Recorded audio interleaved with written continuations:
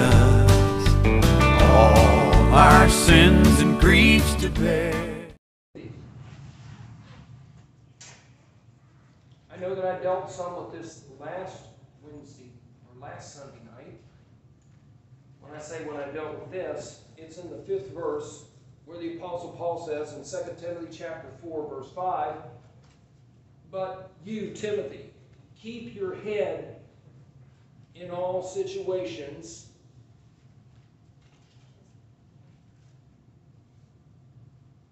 Don't be afraid to think. Be reasonable. Continue to seek God's leadership. Keep your head in all situations. And this is the part that I want to focus on, and I know I touched on it last week. Endure hardship. Do the work of an evangelist. Discharge all the duties of your ministry. None of us like hardship. None us like difficulty. But let me tell you, you need to expect it. I was listening to the Christian radio station 88.9 as I came up to the church tonight. And I don't know who it was. I wanted to say that one guy sounded like Frank Turek, who's a defender of the Christian faith. But he was talking about uh, a movement within Christianity right now that is really very anti-biblical. It is, it is a, a kind of a, a repeat of the health, wealth, and prosperity gospel that is out there. That basically teaches that you're just going to go through good times if you're in the center of God's will. That you can, what they talked about when I was in seminary, name it and claim it. If you're basically serving God the way that you should, that you can name whatever you want, God's going to bless you with it. And let me tell you what, that is a false teaching from the pits of hell. And there are many that subscribe to it. I know that I probably shouldn't, well, I'll go ahead and tell you. Uh, I'm going to say 15, maybe 20 years ago, somebody within the church had loaned me a book from, and I'll go ahead and name the person's name, Joel Osteen. A book by Joel Osteen to read. Heard a lot about him on the television and so on and so forth, so I started to read it. First two illustrations from, from out of the book, that's all that it took, and I was ready to, I'm not going to read any more of this book. What was it that was so offensive to me? Well, he told in the early chapter of that book that he and his wife were had kind of outgrown their house and they needed a bigger, better house and so on and so forth. So he drove through kind of an exclusive neighborhood and he saw a house that really kind of impressed him and he thought, know, that's nice, but I don't think I can have it. But I'm going to believe that God's going to provide that for me. So sure enough, God provided it for him.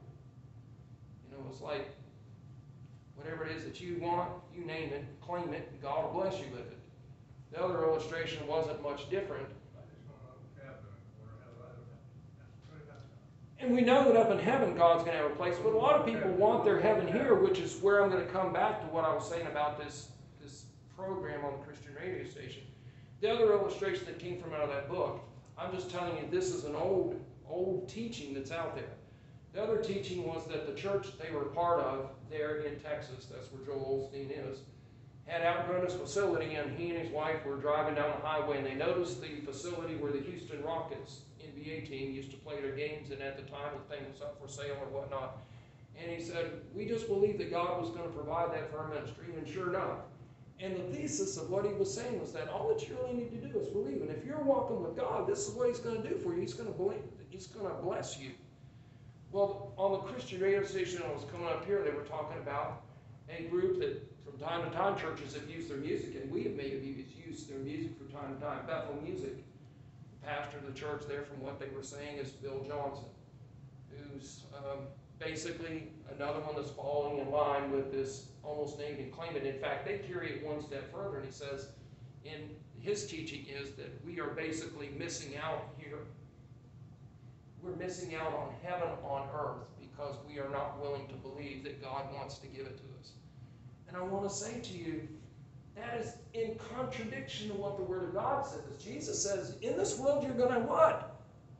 Have trouble. You're going to have persecution. You're going to have trouble. And when you look at the true saints of God, folks, when you are speaking up for the truth, we went over this this morning. We just finished in our Sunday school class studying for the past quarter prophet Jeremiah. Did Jeremiah have a, a real rosy life? No. Why was his life not rosy? Why was it miserable? Because he was willing to speak the truth. Anytime you're, fi- you're going to find that people don't like to hear the truth.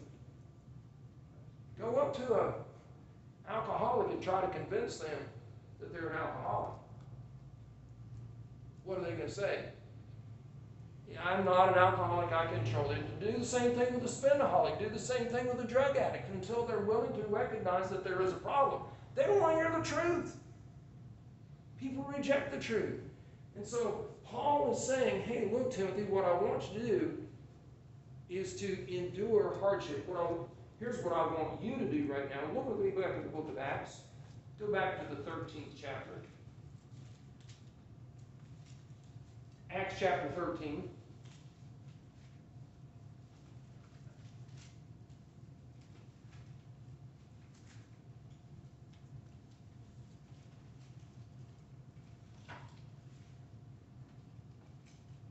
What is the content of Acts chapter 13?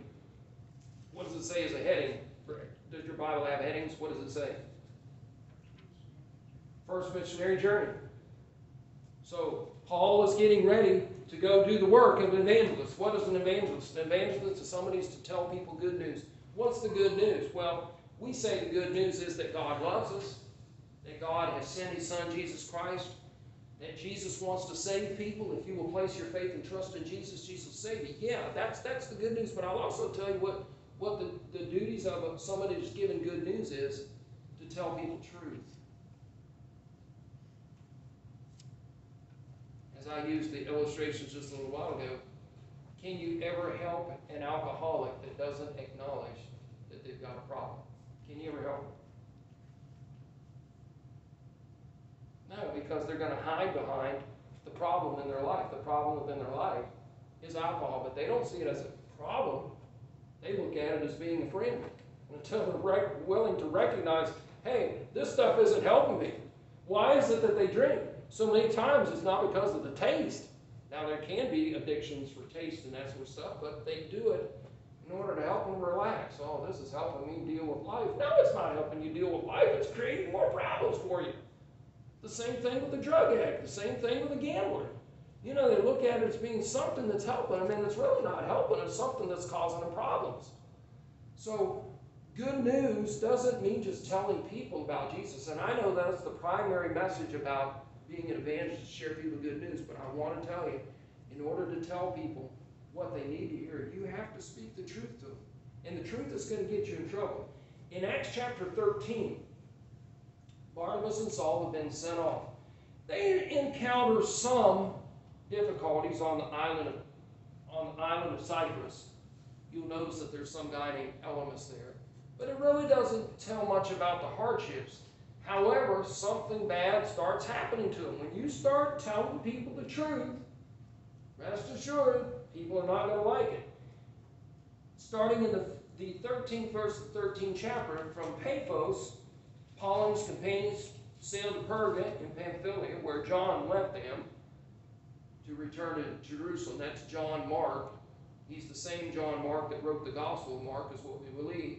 And John Mark had gone with them on this missionary journey, but he didn't stay with them, and they had to make arrangements to get him back home. The second time they went out, Barnabas said, Let's take John Mark with us this time. Paul said, Ain't no way. He left us the first time, one and done. He's not going. And that's why Paul and Barnabas split up after the first time. But it said, verse 14, from Perga they went on to Pisidian Antioch. And you can read the story about what happened in Pisidian Antioch. Why am I focusing upon this? Because when Paul and Silas, or Paul and Barnabas, went and started preaching to people the truth, God started to work, but Satan opposed them. If you go down to the um, verse 42, I'll go ahead and read this to you. He said, um, as Paul and Barnabas were leaving the, in the 13th chapter, 42nd verse, Paul and Barnabas were leaving the synagogue. The people invited them to speak further about these things on the next Sabbath. So it sounds like things are going good, and they are going good. When the congregation was dismissed, many of the Jews and devout converts to Judaism followed Paul and Barnabas, who talked with them and urged them to continue in the grace of God. On the next Sabbath, almost the whole city, Again, things are going real well. Gather to hear the word of the Lord, the good news. When the Jews saw the crowds, they were filled with jealousy and talked abusively against what Paul was saying. Then Paul and Barnabas, answered them boldly We have to speak the word of God to you first, but since you reject it and do not consider yourselves worthy of eternal life, we now turn to the Gentiles. For this is what the Lord has commanded us. I've made you a light to the Gentiles that you may bring salvation to the ends of the earth. When the Gentiles heard this, they were glad and honored the word of the Lord, and all who were appointed for eternal life believed. The word of the Lord spread through the whole region. But the Jews incited the God fearing women of high standing and the leading men of the city. They stirred up persecution against Paul and Barnabas and expelled them from their region. So, Paul and Barnabas, they shook the dust from their feet in protest against them and went to Iconium. And the disciples were filled with joy and with the Holy Spirit. So, I've just read they're they're not all that far into this missionary journey. They're being an evangelist. They're trying to take good news to people. They're trying to tell people the truth. And the response of people was initially, oh, I like what I'm hearing. But then they started trampling on people's toes, and the people turned against them. Paul and Barnabas, after getting turned against, could have said, Well, I guess the best thing for me to do is just kind of keep my mouth shut. Paul and Barnabas said, Nope. That may be what I feel like doing, but it's not what God wants me to do. God has called me to tell people truth and to tell them the good news. And if these people don't want to hear it, I'll go to the next place. So they go to the next place. What's the next place they go to? Chapter 14. They go to Iconium. At Iconium, Paul and Barnabas went as usual into the Jewish synagogue. There they spoke so effectively that a great number of Jews and Gentiles believed. But the Jews who refused to believe stirred up the Gentiles and poisoned their minds against the brothers. So Paul and Barnabas, uh, so Paul and Barnabas spent considerable time there, speaking boldly for the Lord to confirm the message of His grace by enabling them to do miraculous signs and wonders. The people of the city were divided. Some sided with the Jews, others with the apostles. There was a plot afoot among the Gentiles and Jews, together with their leaders, to mistreat them and stone them.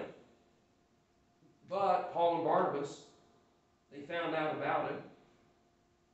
They decided to go home. Nope.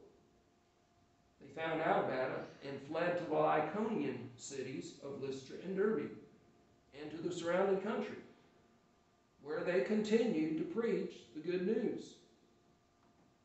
This is the job of an evangelist. God has called you to go out there and be a spokesperson for Him. And Paul is writing to Timothy here at the end of 2 Timothy chapter 4, and he's saying, Hey, Timothy, I want to tell you, do the work of an evangelist. And I want you to understand when you're doing the work of an evangelist, you better get accustomed to the fact you're going to have to endure hardship. People are going to give you a rough time. It's part of the job. And I want to tell you, if you're going to be an effective servant of God, you better brace yourself because you are going to get resistance. I don't care if it's from within your family. Some of you are dealing with family that family doesn't want to hear about your Christianity anymore. And Paul would just say to you, look, I'm appointing you. God has called you to be a bearer of good news. The good news, tell people the truth. And I'm not saying that you do it to the point that they're going to haul off and knock your teeth out. But I want to tell you, you don't give up. You stand your ground. You continue to be the example. You continue to proclaim the truth.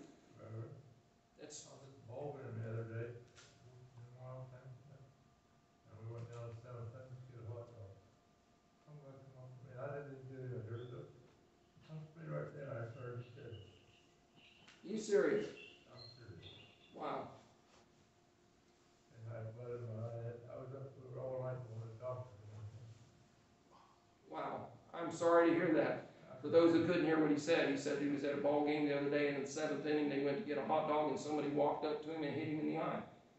Took a fist and belted him in, in the eye. He was a college kid. He belonged to a left wing group college. California State. In Pennsylvania. A left wing college kid. Folks, and we can expect persecution. That was totally unrelated to what the Apostle Paul. Paul was out there trying to preach, but you, you can expect that there are wicked people out there, and you don't give up. You don't give up your stand. So when they were threatening to be stoned to death in Iconium, Paul and Barnabas said, you know what? They could have said this. Things have not gone well in Pisidian Antioch. Things are not going well here in Iconium. We had some difficulty in Cyprus, you know, with Elymas. It seems like that maybe the best thing for us to do is kind of give up, fold up our tents and go back home. No, they said we're going to keep going because God has called us on a mission and we're going to do what God has called us to. So they go from there down to Lystra and Derbe. What happens in Lystra and Derbe? Verse 8. In Lystra there sat a man crippled in his feet who was lame from birth and had never walked. He listened to Paul as he was speaking. Paul looked directly at him, saw that he had faith to be healed, called out, Stand up on your feet. At that, the man jumped up and began to walk. Stand up, stand up for Jesus. Absolutely. Shoulders of the cross. And so it said, Lord Mayor must not suffer loss. absolutely, this man did stand up. And it said, when the crowd saw what Paul had done, they shouted in the Lycaonian language, The gods have come down to us in human form. Barnabas they called Zeus. Paul they called Hermes because he was the chief speaker. The priest of Zeus, whose temple was just outside the city, the priest actually went and brought bulls and wreaths to the city gates because he and the crowd wanted to offer sacrifices them. Go ahead and read the story. It says, But when the apostles, Barnabas and Paul, heard of this, they tore, tore their clothes and rushed out into the crowd, shouting, Men, why are you doing this? We too are only men, human like you. We are bringing you what? Good news. Why are we bringing good news? Because we're evangelists. We want to tell you truth. We want to tell you the truth. God loves you. God has sent His Son. And it said, We're bringing you good news, telling you to turn from these worthless things to the living God who made heaven and earth and sea and everything in them. In the past, He let all nations go their own way, yet He has not left Himself without testimony. He has shown kindness by giving you rain from heaven, crops in their seasons. He provides you with plenty of food and fills your hearts with joy. Even with these words, Paul and Barnabas had difficulty keeping the crowd from sacrificing to them. Then what happened? Well, some Jews came from Antioch. You know, that Pisidian Antioch, they were the first to have the province. So people came from there. And then it said people came from Iconium. You know, the last place they almost got stoned came from Iconium. They came from these places. They won the crowd over and they stoned Paul and dragged him outside of the city, thinking he was dead. But after the disciples had gathered around him, he got up. And he did what? He went right back into the city. Absolutely, you do need to pray for that guy. He's got some serious problems. The guy that did that to you. Bless them that curse you. Exactly right. And pray that God will speak to his heart. But I want you to notice what I'm, the point that I'm trying to make is the life of an evangelist is tough. And our attitude many times is, I think that probably the best thing for me is not to create any waves. I think I need to be one of those evangelists that keeps his mouth shut.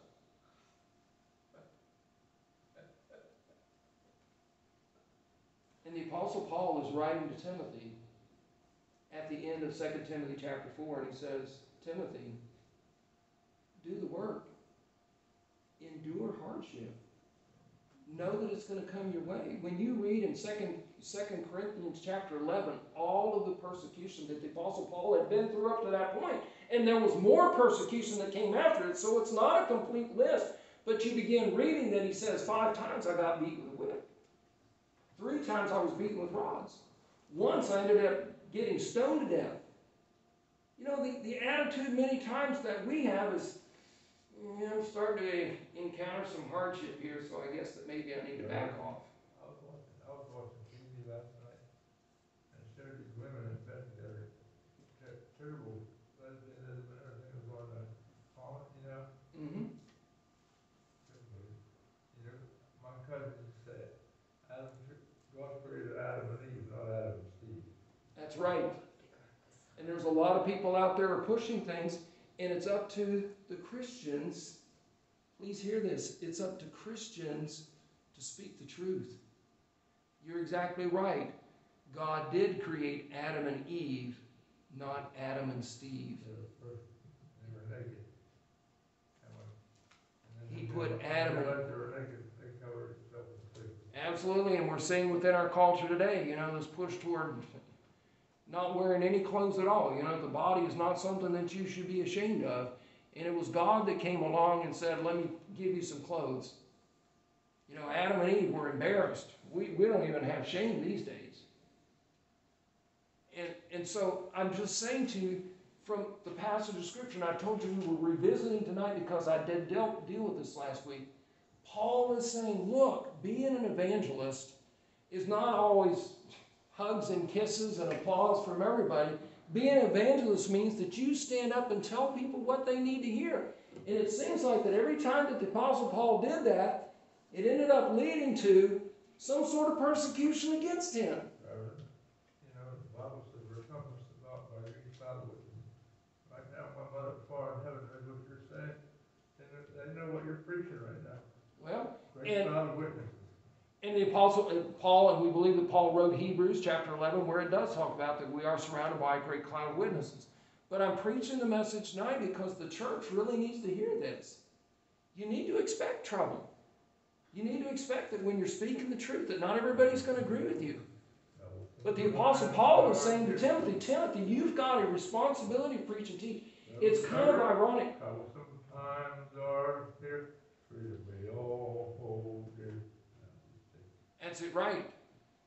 And there are troublesome times. Jesus is coming soon is the title of that on. But here's, here's the point that I want to make. Timothy has not been mentioned yet. It's not until the second missionary trip that the Apostle Paul makes. That he and Silas, they go back to this area, and guess who it is that joins them on the second? It's Timothy. Timothy was watching. Timothy was watching what Paul and Barnabas did. How they continued to serve God in spite of persecution. Yeah, let me go ahead and finish up, Brother David. Let me go ahead and finish up. Football team, and, you know, the Ole Miss Rebels, they're not allowed to play Dixie at your, your football game, you know, Dixie. You Abraham Lincoln, when asked if going to great victory ball, he told him play Dixie. I, I understand. And there's a lot of, of similar type lies that are going on within our society right now. You know, that all the problems are related to, to this, that, and the other, you know, because there's statues or because we've got songs that are being played. And folks, you just need to stand up and say it's a lie. The problems that we've got within our society is not because we've got statues of George Washington or Abraham Lincoln or Robert E. Lee or whatnot. Those are not the cause of the problems. Samuel Jackson's statue's already been pulled over, laid on the ground, he, Robert E. Lee's right-hand man. Exactly right. And Paul is saying to Timothy, Timothy, I want you to learn from my example. You're going to have to endure hardship. And that's the whole point of what I'm saying tonight, folks, is that whenever you are a spokesman for God and you're trying to share Jesus, and it's not just that Jesus loves you and wants to forgive you. I honestly believe the good news is speaking truth because truth is Jesus. Jesus says, I am the way, the truth, in the life.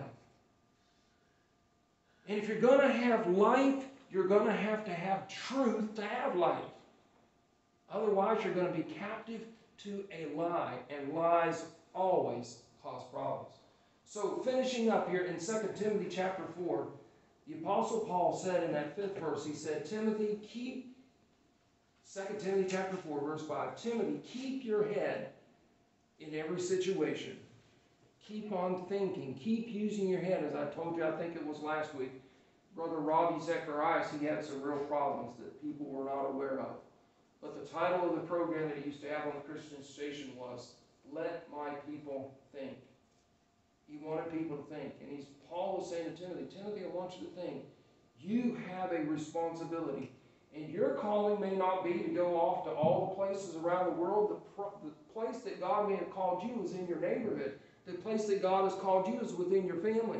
The place that God has called you is there within your workplace.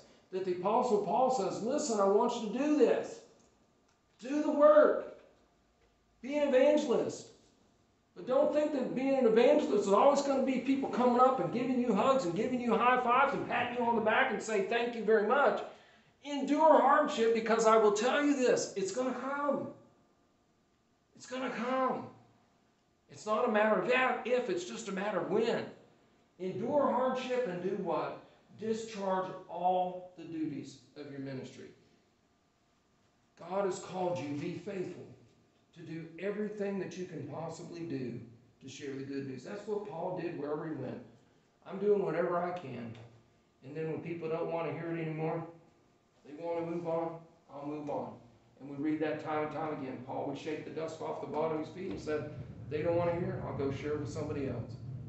But the truth has to be spoken. And so I just say to each one of us, we have a calling on our lives. We may not look at it the same way that Apostle Paul, that God is calling us to go elsewhere, but God is calling us to be a witness there at home where we're at. And you folks know as well as I do, what you have to share may not always be received well. In fact, I think that the pain that comes from those within our families hurts worse than any pain from anybody else. Because you look at the family as being the support system. And when you don't even have the support system of your own family, can be a lonely experience. Paul says the family that matters most is the family of God. God is your father. And if God is behind you, who can be against you? You have a responsibility to be faithful to God. So, next week, Lord willing, we will deal with verse 6, the Apostle Paul's kind of farewell, where he says, I have fought a good fight, finished the race, I have kept the faith. Any final questions or comments? I don't know what you're going to experience in the line of hardship this week, but somebody made this comment years ago.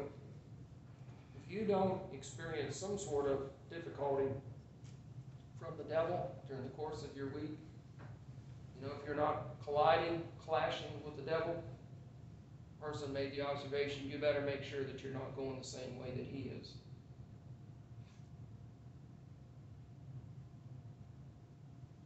Expect opposition. I have a question Stand your ground. when you get done. No. Verse fourteen in chapter four, Mm-hmm. it says, Alexander the metal worker did me a great deal of harm. Mm-hmm. I, I don't know what that means. Well, and again, Paul is writing to Christians there in the city of Ephesus. All right? And there in the city of Ephesus, that's where the temple of Artemis was. If you go back to Acts chapter 19, it tells the story of how the church got started in Ephesus.